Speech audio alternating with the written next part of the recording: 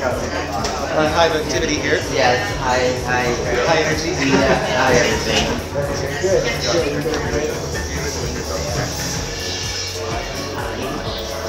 Pink, how are you? You're multitasking. want that doesn't like smaller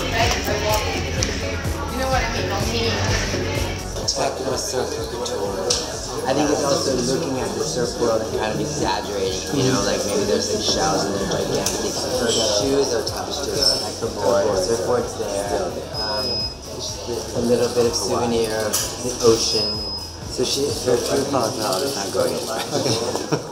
She's pretty acid color. I mean, there's lots of little swimwear things that are like pieces on pieces and lots of little strappy things going on, uh, layer on layer.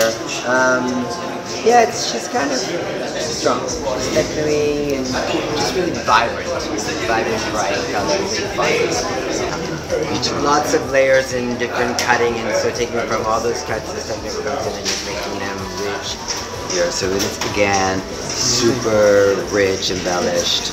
There's 3D little birds. It takes hours and hours of work. this is another hours and hours of labor. It's just her night surfer. Here you're seeing a lot of things that aren't totally finished because some things just came. So before they finish in the factory, we're going to try them on and see if they're going to work or they're not working. And then we have the tailors upstairs and the ladies seamstresses and we'll close them, fit them exactly as they and it's, also harder to fit things when they're completely finished, especially when you're and stuff. So it's super for half done and have the ladies that keep underneath all this bound stuff. You'll have this coming out. She's the wet and then the dry version. So we're still deciding which one we choose. This is the really time when we get to have fun. Yeah, especially yeah. I mean, it's not a volume of stuff. It's kind of just showing. What do you think? Here's a little bit more of the other one. Long skirt.